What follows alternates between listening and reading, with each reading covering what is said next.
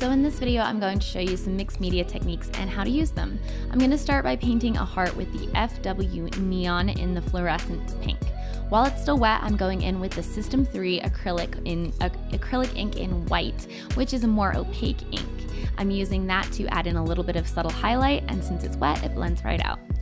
I'm then going in with the FW Process Magenta, which is a bit of a darker pink from the FW line, which is again acrylic ink, but a little bit more translucent, and blending that in and adding more defined highlights with the System 3 white again. Once it's dry, I'm going to go in with the Aquafine Cerulean hue, and I'm going to use that to add in a little bit more color depth to the heart by glazing it over the top, specifically in the shadow area. Because all these inks are compatible, they work really, really well together. Then I'm going to go in with the neon again just to blend everything out and make sure that it's working well together. Like I use the neon and the acrylic together.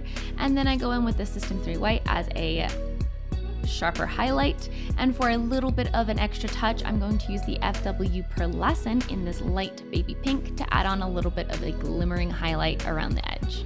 For this next demo, I am again starting in green watercolor using the Aquafine inks to establish an overall just idea of what I'm going to do.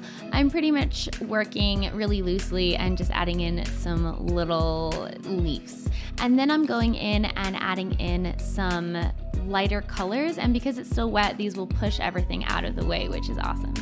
Now I'm going in with some acrylic inks and building up over the top different shading and adding in some lighter areas with the acrylic ink because they're acrylic inks. You can add light back on top, which is super, super useful. And I'm using some like a flat little brush to basically add in those details and then blend them. I'm using some of the more translucent colors to glaze over the top and create some really smooth blending. You can see I'm using yellow to go in and blend back in into the green, um, etc. And now I'm taking a nice opaque, I don't know if this was black or if I made it dark green, maybe it was dark blue. And I am using a long rigger brush to create a little outline. And then because I kind of messed up the outline a little bit, I went back in with some of that darker color. I think it was like a dark blue, dark green. And um, added some more shading. And I just kind of kept adding in highlights, taking things away. It's really important to control the water on your brush. That will really help. I'm gonna do a little demo here of how I blend colors into one another. And you can see I've kind of put them next to each other and then I'm wiping my brush off in between my brush stroke on my little paper towel so that the brush is pretty dry and then I'm kind of just really lightly brushing left and right, and sometimes in circular directions, but usually just like left and right.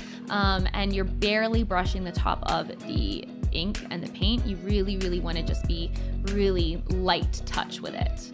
The last thing that I want to show you is a little bit of a different way to incorporate mixed media into your piece, but this is what I did was I got this wooden board, I coated it with white gesso, and then I took the System 3 Pearlescent acrylic ink, which is insanely shiny. This is in the silver and it is it's just so so shiny and metallic. I love it. And I just painted the edges because the inside wasn't going to be seen and I didn't want to make it harder for the glue to stick or anything like that. But I painted the edges with the silver, gave it a couple coats so it was really nice and shiny. Before this I did like kind of sand the board a little bit, although I probably could have sanded it more, but I just energy. Um, and then I went ahead and I marked like the corners of it where my painting was going to lay. And I actually used masking tape to mask out those edges and it was pretty helpful. So um, I used a decoupage glue to lay over all of that um, and fill in that whole area with glue. And then I really, really carefully, very carefully placed my painting and smoothed it on there and then placed some paper towel on top and placed some books on top of it. And that was another way that I used mixed media in my piece that I thought was really fun and added a really unique touch to the artwork. In the next video, I'm going to show you how I painted the entire piece and put everything together.